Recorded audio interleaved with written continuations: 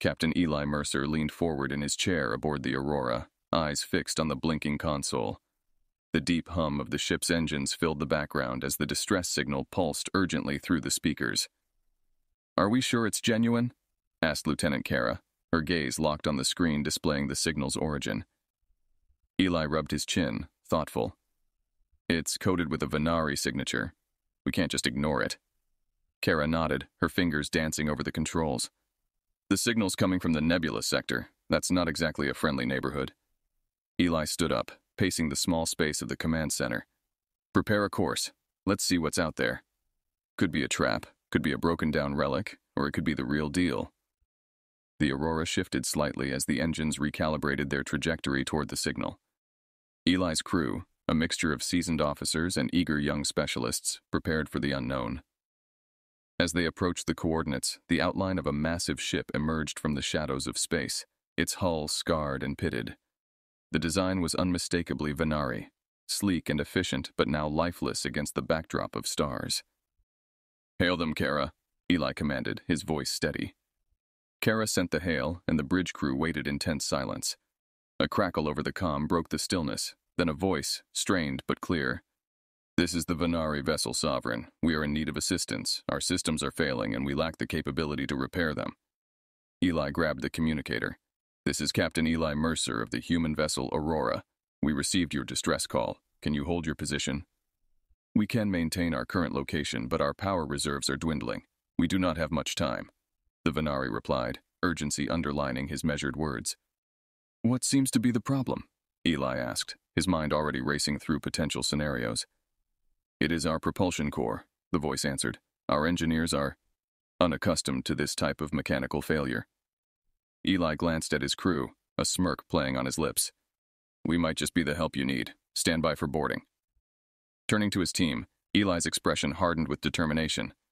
Kara, prep the shuttle. I want to see this propulsion core myself. Jansen, you're with me. Let's gear up and see if human ingenuity can get a Venari ship flying again. Yes, sir, they responded in unison. As they prepared to board the shuttle, Eli felt the weight of the opportunity before them. A successful mission could bridge the gap between human and Venari technologies, opening doors that had been closed to humanity until now. Remember, everyone, stay sharp. We're about to step onto a ship that's not just alien in design, but possibly in situation. Keep your eyes open and your minds alert, Eli instructed, leading his team into the shuttle. The shuttle bay doors closed with a hiss, and the small craft detached smoothly from the Aurora, making its way toward the ailing Venari ship. As they docked, Eli felt a surge of anticipation. This was the unknown they had trained for, the frontier they lived to explore. Ready for whatever comes next, he muttered to himself, stepping into the airlock as the Venari ship loomed large before them. The airlock door hissed open, and Captain Eli Mercer led his team into the dimly lit corridors of the Sovereign Asterisk. The architecture was distinctly Venari, with sleek lines and a minimalist design that spoke of a civilization that valued efficiency over adornment. Power's low. Keep your lights on, Eli instructed, sweeping his flashlight across the walls. Jansen, his second in command, nodded, his own light piercing the gloom. No signs of life yet, Captain. Should we be concerned? Eli kept moving forward, his senses alert. Stay on mission. We're here to help, not to speculate. As they rounded a corner, they were met by a delegation of three Venari, their slender forms draped in flowing robes. The leader, a tall figure with piercing eyes, stepped forward, extending a hand in greeting. I am Thesson, captain of the Sovereign. We are grateful for your prompt response, he said, his voice echoing slightly in the quiet corridor. Eli shook his hand, feeling the firm grip of the Venari captain. Eli Mercer, we understand you have a problem with your propulsion core. We're here to see if we can assist. Thesson nodded, gesturing for them to follow. This way, please. I will explain as we walk. The group moved through the corridors, Thesson providing details. Our propulsion core is unlike anything in your human engineering. It's based on quantum field manipulation, very sensitive and, unfortunately, currently beyond our ability to repair without the proper resources. Eli listened intently, mentally cataloging each piece of information for later. How did this malfunction occur? he asked. It was sudden, Thesson replied, a hint of distress in his voice. One moment, everything was functional, the next, we lost all propulsion capability. We suspect an underlying flaw in the core's design, perhaps exacerbated by our recent navigation through the nebula sector. They arrived at a large chamber where the core was housed. The room was filled with a low hum, the sound of emergency power supporting life support and essential systems. The core itself was encased in a transparent alloy, its intricate components glowing faintly in the dim light. Eli approached the core, his gaze fixed on the complex network of circuits and quantum fields. I've never seen anything like this, he admitted, but I'm willing to give it a shot. Jansen, start diagnostics. Let's find out what we're dealing with. Jansen deployed a series of tools, interfacing his device with the Venari technology. The diagnostics ran, data streaming across the screen in a flurry of numbers and graphs. Looks like the quantum stabilizer is offline, Jansen reported after a few minutes. Without it, the core can't maintain the necessary field coherence. Eli rubbed his chin, considering the problem. Can it be bypassed or rebuilt? Thesson exchanged a glance with his engineers, uncertainty clear on their faces. Perhaps, with your expertise, we do not possess the capability to fabricate the necessary components. Let's get to work then, Eli said, turning to his crew. We'll need to improvise. Jansen, prep the fabricator. Let's see if we can't patch this up with a mix of Venari tech and a little human creativity. As they set to work, Eli felt a burgeoning respect between the two crews. Here, far from home on a ship unlike any other, human and Venari worked side by side, their mutual goal forging a tentative bond in the cold vastness of space. Inside the engine chamber of the Sovereign, the air was thick with tension and the sharp scent of ozone. Captain Eli Mercer knelt beside the exposed quantum core, tools scattered around him. His brow was furrowed in concentration as he studied the complex circuitry and glowing energy fields that made up the Venari propulsion system. Thesson, the Venari captain, hovered nearby, watching Eli's every move. Have you encountered anything similar in human technology? he asked, his voice tinged with curiosity and concern. Eli shook his head without looking up. Nothing exactly like this. Our quantum tech is rudimentary compared to this. But, he paused, tapping a component gently with a small tool. I've got a few ideas. Jansen, Eli's right-hand man, handed him a modified interface device. We've adapted this from our spare parts. Should let you interact with the core's systems directly. Good work, Jansen. Eli took the device, connecting it to a panel on the core. The readouts began to flicker, and a stream of alien symbols scrolled across the interface. Now let's see if we can talk to each other. As Eli worked to bridge the gap between human and Venari technology, Jora, a Venari engineer assigned to assist them, leaned in to observe. Your approach is unconventional, she remarked, her tone a mix of skepticism and intrigue. Eli grinned, not looking up from his work. Human engineering in a nutshell. Sometimes you have to think outside the conventional to make things work. After several intense minutes, Eli's device beeped sharply, a green light flashing on its surface. There we go. We've got access. Jansen, you see this? Jansen peered over Eli's shoulder at the data streaming in. Looks like you bypassed their security protocols. How did you manage that? Venari tech is advanced, but it's logical. Follow the patterns, and it tells you its secrets, Eli explained, his focus unyielding. Now, let's diagnose the real issue. The diagnostics revealed a critical failure in the core's stabilizer, confirming Jansen's earlier assessment. However, the underlying cause was a degraded quantum filament, an essential component that was beyond simple repair. Eli stood, stretching his back, and addressed Thesson. The core's quantum filament is degraded. Without it, the stabilizer can't maintain the quantum field. It's like trying to hold water in a sieve. Thesson's expression darkened. A replacement filament is not something we can easily fabricate here, especially with our fabricators down.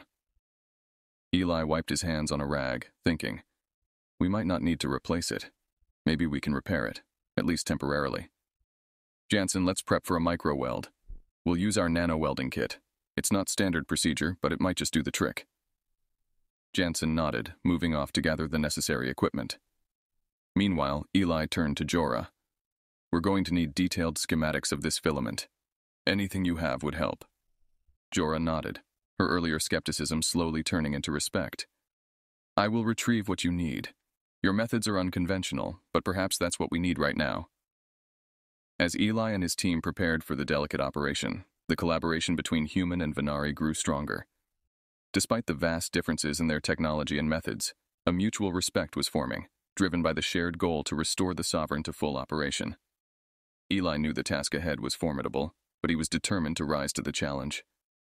With human ingenuity and Venari knowledge combined, there was a fighting chance. The engine room of the Sovereign was alive with activity as Captain Eli Mercer and his team set about their unconventional repair.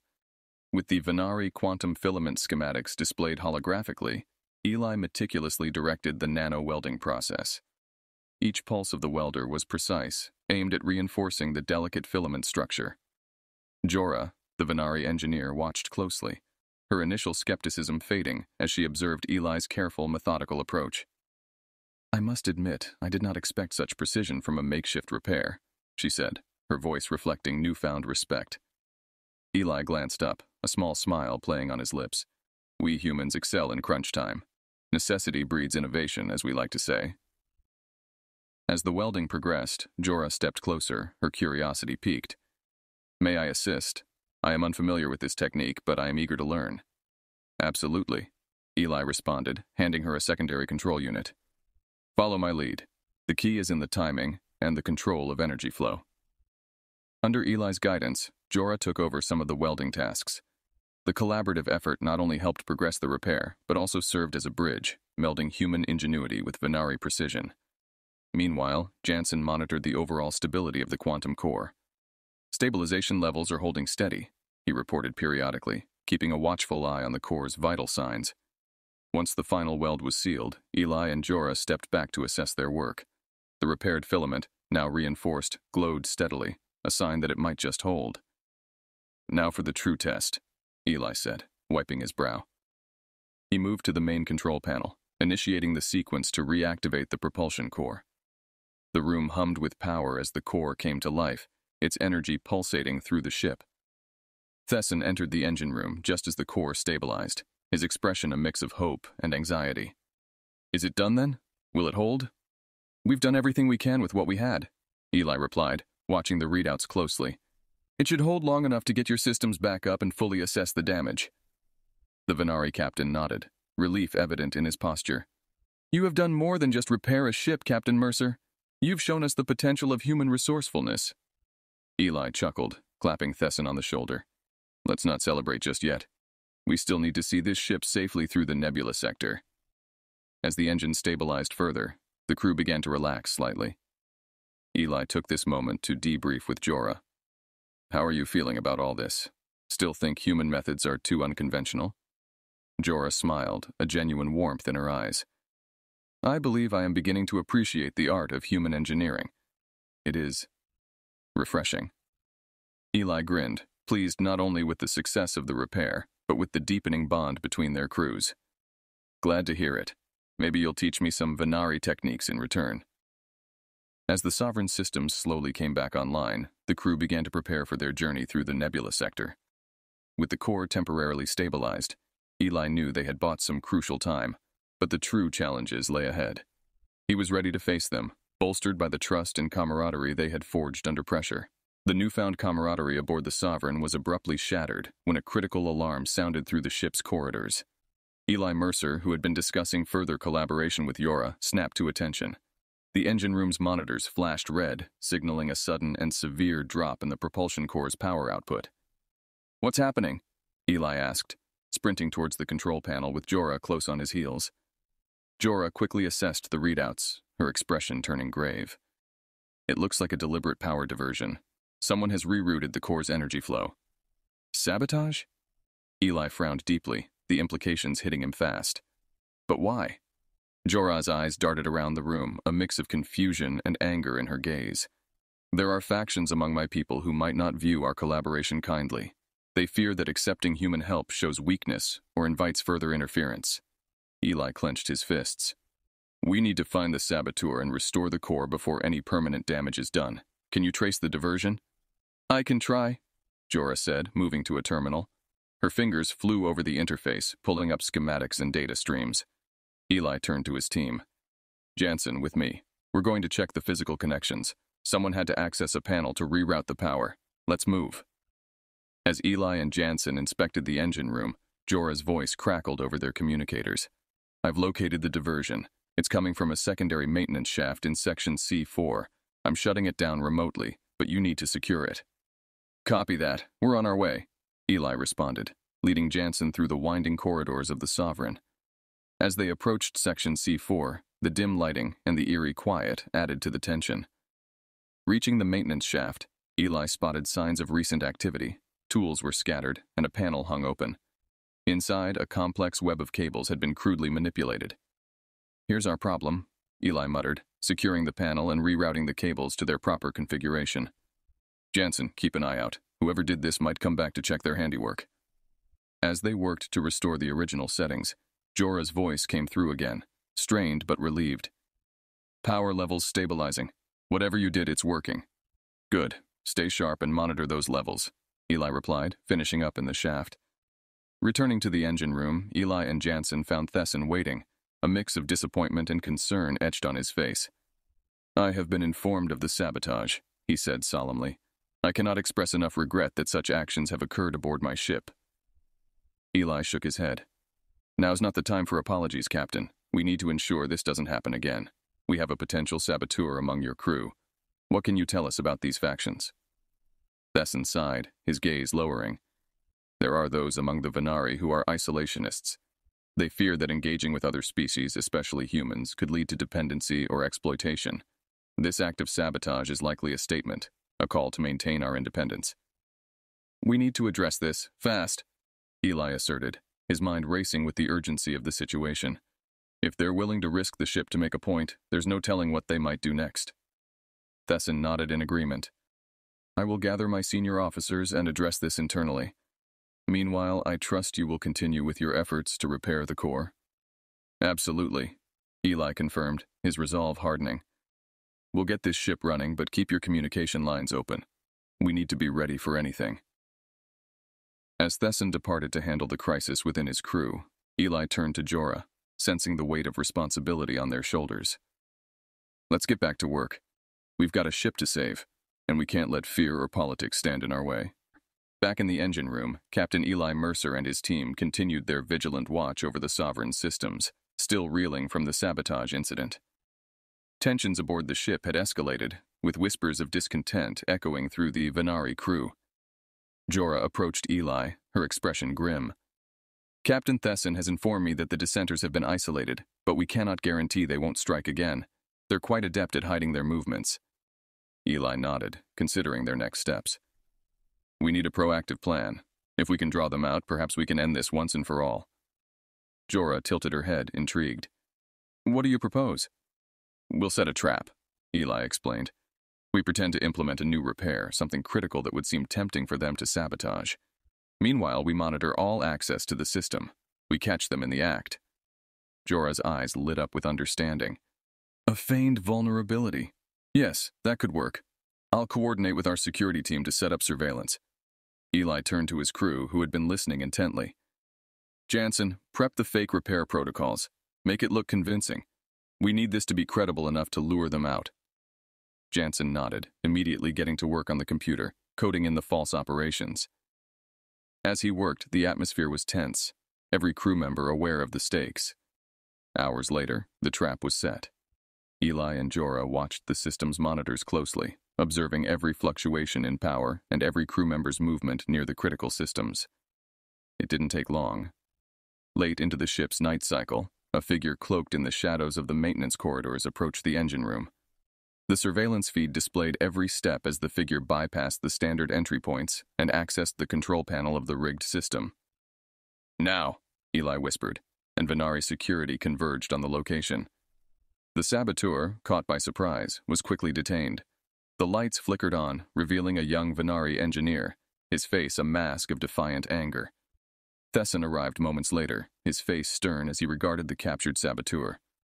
Why? he asked simply, the disappointment evident in his voice. The young Venari glared at Thesson, then at Eli. You bring them here, into the heart of our ship, and expect us to stand by? We must protect our way of life, our independence. We are not to be meddled with. Thesson shook his head. By endangering everyone on this ship, your actions could have doomed us all. Eli stepped forward, his gaze steady. Look, I understand the fear of losing your identity, your independence, but cooperation isn't about giving that up. It's about making each other stronger. We're here to help, not to harm or control. The room fell silent as the young Venari considered Eli's words. Finally, Thesson spoke. He will be confined until we reach our destination. This cannot happen again. As the saboteur was led away, Jorah turned to Eli. You took a great risk today. It was calculated, Eli replied, and necessary. Sometimes you have to confront the problem head on to find a solution. With the immediate threat neutralized, Eli knew the Sovereign was not yet out of danger, but the night's events had strengthened the alliance between the human and Venari crews. There was a shared sense of purpose now, a determination to see their journey through to a safe conclusion. After the confrontation with the saboteur, the atmosphere on the Sovereign was one of cautious relief. Captain Eli Mercer and Jorah, along with their respective crews, resumed their efforts to stabilize the propulsion core. The trust built over the past tense hours had solidified their commitment to each other and to the ship's recovery. Eli inspected the readouts from the quantum core's diagnostics one more time. Looks like we're stable for now, but it's a temporary fix. We need something more permanent. Any ideas, Jorah? Jora, deep in thought, nodded toward a section of the core. We could attempt to integrate a secondary power modulator. It would redistribute the load and reduce strain on the repaired filament. Eli considered this, tapping a schematic on his tablet. That could work. It's a bit of a patchwork solution, but it'll buy us the time we need to get to a proper facility. Let's do it. They set to work fabricating parts from the Aurora's limited supplies and adapting Venari technology to fit the human modifications. The process was intricate, requiring precise calibration to ensure compatibility between the two technologies. As Eli and Jorah worked side by side, the crew watched, a silent testament to the unity that had formed under pressure. Eli was all too aware of the eyes on them, understanding the importance of not just the technical success, but also the symbolic collaboration it represented. With the modulator in place, Eli wiped his hands and stood back. All right, let's power it up and see if it holds. Jorah initiated the startup sequence, and the core hummed to life, its glow steadier than before. The monitors showed all systems in the green. A collective sigh of relief swept through the room. It's holding steady, Jansen announced, checking the data streaming through his console. Energy distribution is even, and stress on the quantum filament is minimal. Thesson entered the engine room just in time to hear the good news. His face broke into a rare smile. Captain Mercer, your team's expertise has been invaluable. You've not only saved our ship, but also provided us with a deeper understanding of our own technology. Eli nodded, acknowledging the compliment. We're glad to help, Captain Thesson. Hopefully, this is the start of more cooperative ventures between our peoples. Thesson agreed. Indeed, the Council will hear of your actions and the bravery and ingenuity of your crew. You have bridged a gap that we did not even know existed. As the Sovereign continued its journey through the Nebula sector, the repairs held, and the crew's morale improved significantly. Eli took a moment to look out at the stars, reflecting on the journey. Jorah joined him, her presence a comfortable silence. You've taught us much, Captain Mercer, not just about engineering, but about resilience and cooperation. Eli smiled at her, feeling a sense of accomplishment. And I've learned from you as well. It's been a privilege, Jorah. With the Sovereign now stable and the journey resuming, Eli felt a sense of completion, not just for the mission, but for the unexpected personal connections that had formed far from home. As the ship sailed through the starlit void, it carried not just a crew of humans and Venari, but a new sense of understanding and respect between their species. As the Sovereign approached the edge of the nebula sector, the repairs and modifications made by Captain Eli Mercer and his team held strong, ensuring a smooth passage. The atmosphere among the crew was one of cautious optimism, tempered by the recent challenges, but uplifted by their successful resolution. In the ship's conference room, Thesson convened a final meeting with Eli and the senior members of both crews. Thanks to your efforts, we are now safely out of the nebula sector, Thesson began, his voice filled with genuine gratitude. The Sovereign is operational, and more importantly, we have gained invaluable insights from this collaboration. Eli nodded, appreciative of the acknowledgement. It's been a challenging journey, but I'm proud of what we've achieved together. The Aurora is ready to continue on her exploration mission, but we'll always be available should you need further assistance. Jorah, who had been instrumental in bridging the gap between human and Venari engineering principles, added, We've documented all procedures and modifications. This exchange of knowledge will undoubtedly advance our own technologies and perhaps pave the way for a more formal exchange program in the future. Thesson then presented Eli with a data crystal. This contains coordinates to several uncharted systems that our scouts have found promising but beyond our current priorities. Consider it a token of our gratitude and a symbol of potential shared ventures ahead. Eli accepted the crystal, intrigued by the possibilities it represented. Thank you, Captain Thesson. We'll explore these systems. Who knows? Maybe we'll find resources or allies that can benefit us all. As the meeting concluded, preparations began for the departure of the Aurora. The crew busied themselves with final checks and supply restocks, while Eli and Jorah shared a quiet farewell outside the ship. You've opened our eyes to the strength of diversity and partnership, Captain Mercer, Jorah said, her tone sincere. We'll continue to build on the groundwork we've laid here. Eli smiled, clasping her hand briefly.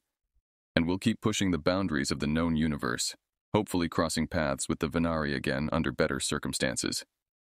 With farewells exchanged and the Aurora's engines humming softly in readiness, Eli took one last look at the Asterisk Sovereign Asterisk.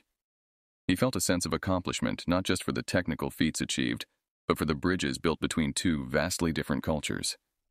As the Aurora detached and began its journey towards the new coordinates, Eli stood on the bridge watching the stars streak by.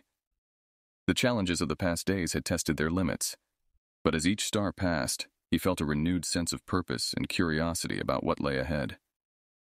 Chart a course for the nearest system on this crystal, Eli instructed his navigator.